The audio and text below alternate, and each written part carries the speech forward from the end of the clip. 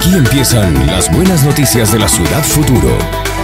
Barranca Bermeja, moderna, segura y productiva.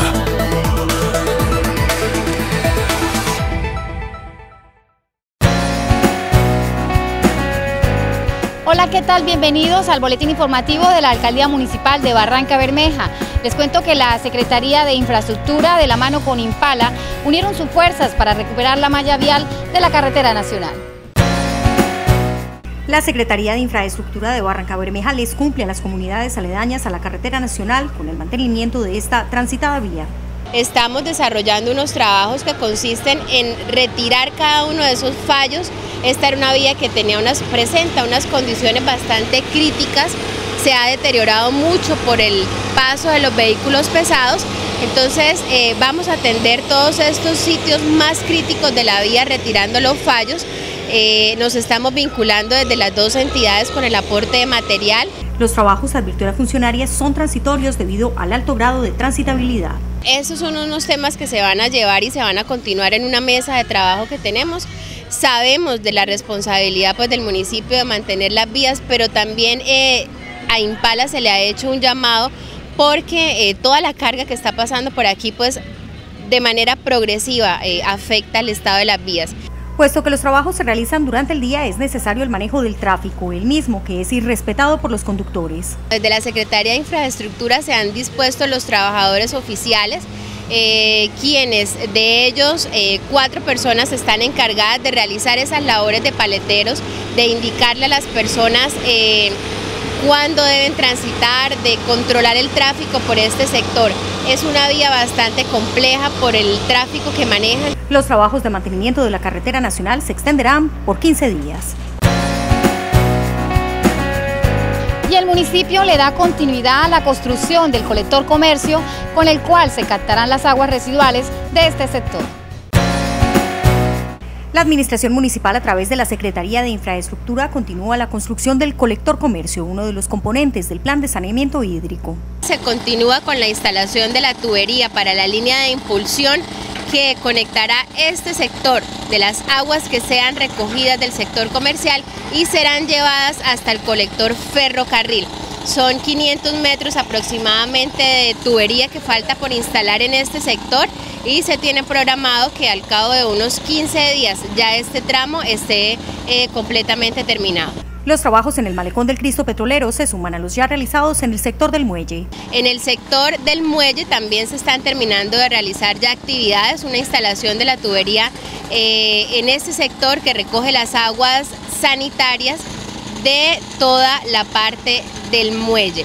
Estas aguas van a ser llevadas a la estación de bombeo que estará ubicada en la glorieta que está frente a la policía y de esta estación de bombeo es conducida hacia la tubería que está instalada aquí en el sector del Cristo Petrolero. Las aguas residuales que serán captadas por este colector serán tratadas en La Petar, un proyecto a punto de ser licitado.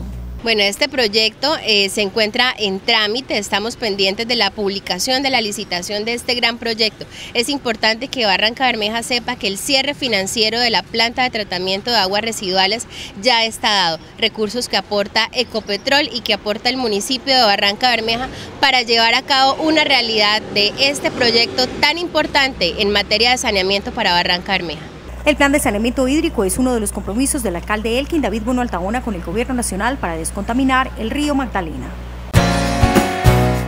El presente es una decisión el futuro es el resultado. El futuro de una ciudad se construye invirtiendo en infraestructura. Barranca Bermeja y Bucaramanga estarán conectados por una doble calzada. Aquí se construirá la refinería más grande del país y también el puerto fluvial más moderno de Latinoamérica. Barranca Bermeja quiere estar a la altura del reto y por eso invierte en proyectar las obras de infraestructura más importantes de su historia, convocando a los mejores arquitectos del país y el mundo para el diseño de ocho macroproyectos que transformarán positivamente la ciudad. Barranca Bermeja está pensada para el desarrollo, proyectada para el liderazgo y se está construyendo para la grandeza de todo un país. Barranca Bermeja, Ciudad Futuro. Conozca los avances y los beneficios de la nueva agencia de empleo en Barranca Bermeja. Este es el nuevo centro de empleo de Barranca Bermeja, más y mejores oportunidades de trabajo para quienes buscan empleo y para quienes requieren trabajadores idóneos en sus empresas. En menos de cuatro meses de funcionamiento, más de 5.000 barranqueños han registrado aquí sus hojas de vida. Alrededor de 300 de ellos han conseguido empleo y cada día son más las empresas que se inscriben en este portal. El Servicio Público de Empleo es una oportunidad para todos ahora está al alcance de la mano en Barranca Bermeja. Los buscadores de empleo pueden utilizarlo independiente si son bachilleres, técnicos, auxiliares, empíricos, tecnólogos, profesionales o especialistas. Todos, absolutamente todos pueden registrarse en www.redempleo.gov.co. A los empresarios les facilita encontrar en menor tiempo y con menos recursos el talento humano que buscan. El Centro de Empleo de Barranca Bermeja brinda grandes oportunidades para nuestros empresarios. Primero que todo, a través del Centro de Empleo pueden contar las, personas más idóneas y mejor perfiladas para sus futuras vacantes. Aparte de todo eso, eh, ayuda a disminuir el alto índice de rotamiento que se puede generar en las empresas, aumentando de esta forma eh, su productividad y su competitividad, ya que al momento, al momento de seleccionar el personal o vincularlo a su empresa, tienen por seguro que son personas idóneas y que han pasado por un proceso de selección adecuado.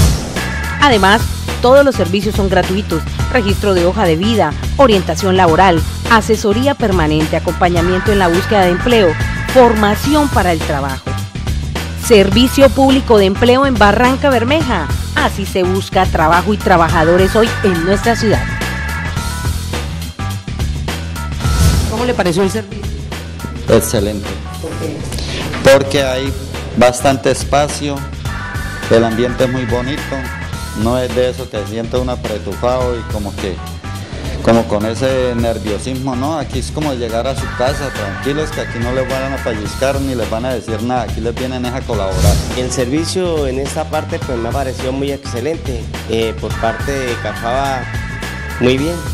¿Qué piensa? ¿Cómo enteró el nuevo eh, yo me enteré fue por medio de un hermano que él me dijo que estuviera pendiente porque estaban recibiendo las hojas de vida para postularla eh, aquí en Cafaba para las cuestiones de trabajo. llegué con la ilusión de una nueva expectativa de un cambio de las postulaciones. Eh, encontré que aquí pues simplemente con los datos, aquí mismo uno sale postulado y le avisarán a uno en el correo.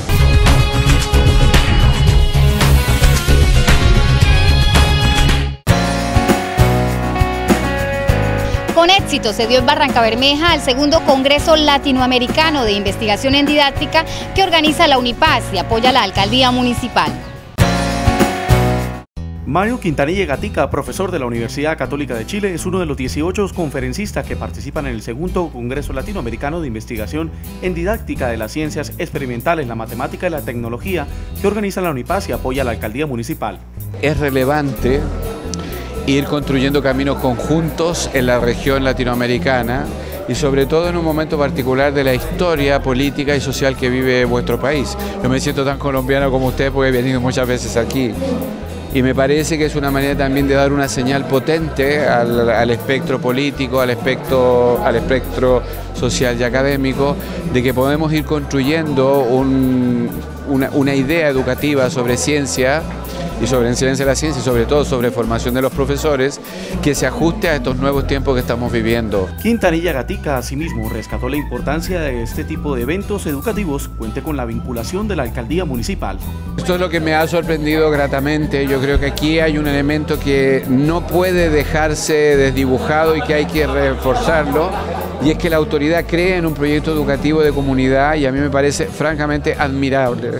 Ojalá tuviéramos en la región y hablo en general de América Latina, autoridades tan visionarias y sobre todo con inteligencia creadora, como lo que he escuchado yo esta mañana de, del señor Osvaldo Calao, que creo que es una de las personas que ha impulsado este trabajo y me parece francamente notable que puedan continuar haciéndolo.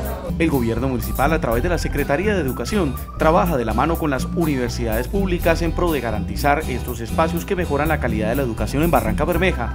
En esta apuesta del día de hoy, eh, hemos casado con un recurso financiero eh, representativo para que el evento se desarrolle de la mejor manera posible. Felicito al rector de la universidad, a sus docentes, a sus directores de escuela y a todos sus estudiantes.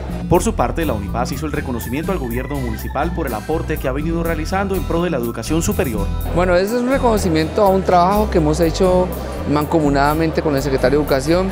Eh, le ha apostado a la educación eh, no solamente en el municipio, sino en las estrategias de educación superior, porque al generar procesos de desarrollo que permitan que más eh, jóvenes ingresen a la educación superior, le estamos apostando a una paz duradera y sobre todo le estamos apostando a ciudadanos competentes. En el segundo Congreso Latinoamericano participaron más de 800 estudiantes y profesores de toda la región y contó con la participación de conferencistas internacionales y nacionales.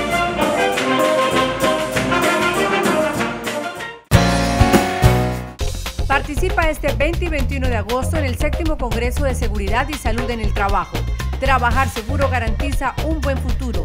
Invita Alcaldía Municipal de Barranca Bermeja, Secretaría Local de Salud, Comité Local de Salud Ocupacional, entrada libre y gratuita. 20 y 21 de agosto, Auditorio del SENA. El presente es una decisión el futuro es el resultado. El futuro de una ciudad se construye invirtiendo en tecnologías de la información y las comunicaciones. Barranca Bermeja es el primer municipio del país en crear una Secretaría TIC. Ocupa el segundo lugar en tener más ciudadanos digitales certificados. Cuenta con tres puntos Vive Digital y será el primero en pasar de la educación tradicional a la educación digital con 700 aulas digitales. Barranca Bermeja está pensada para el desarrollo, proyectada para el liderazgo y se está construyendo para la grandeza de todo un país. Barranca Bermeja, Ciudad Futuro. El primer mandatario de los barranqueños, el David Bueno Altaona, se reunió con los agentes de la Inspección de Tránsito y Transportes de Barranca Bermeja para comenzar a diseñar acciones ante la ejecución de los macroproyectos que se avecinan, entre ellos el de la modernización de la refinería de Barranca Bermeja y así evitar que se presenten inconvenientes que afecten la movilidad en los habitantes de la ciudad futuro. Barranca Bermeja es una ciudad con 200.000 habitantes según el censo del DANE del 95 y la ley dice que por cada 100.000 habitantes deben, existir 50 alférez. O sea que aquí tenemos un déficit, porque somos más de 200.000, pero con el que tenemos del DANE, ese censo, Barranca Bermeja necesitaría 50 eh, alférez más. A mí me parece eh, necesario mirar eso, porque lo que se avecina con la modernización de la refinería, con las horas pico, como está creciendo la ciudad, necesitamos que, no le sigamos cargando a un número muy eh, pequeño de alférez toda una carga de una ciudad con la que ellos no van a poder. El alcalde además agregó que es necesario también modernizar la parte administrativa de la institución para que se puedan enfrentar los retos que se aproximan. Tenemos que hacer un estudio concienzudo, un estudio técnico para mirar la viabilidad y qué es lo mejor que le sirva a la estación de tránsito y tránsito. Por su parte, los agentes de la ITTB manifestaron su constante compromiso por mantener una buena movilidad en el puerto petrolero. Positivo eh, esa situación con el señor alcalde, los acuerdos, porque él como presidente de la Junta de Tránsito y Transporte eh, está comprometido con el incremento del personal, la modernización de tránsito y transporte de Barranca Bermeja, hacer que el tránsito de Barranca Bermeja sea una oficina más ágil, eh, que ofrezca mejores servicios a la comunidad, ¿cierto? Entonces el señor alcalde se quedó comprometido con nosotros para el próximo año, o a partir de este año inclusive, esto, empezar a trabajar y prepararnos para el próximo, para el año 2015. Hasta aquí las noticias que hacen de Barranca Bermeja la grandeza de un país. Recuerde visitarnos en nuestro portal web www.barrancabermeja.go.co. Hasta pronto.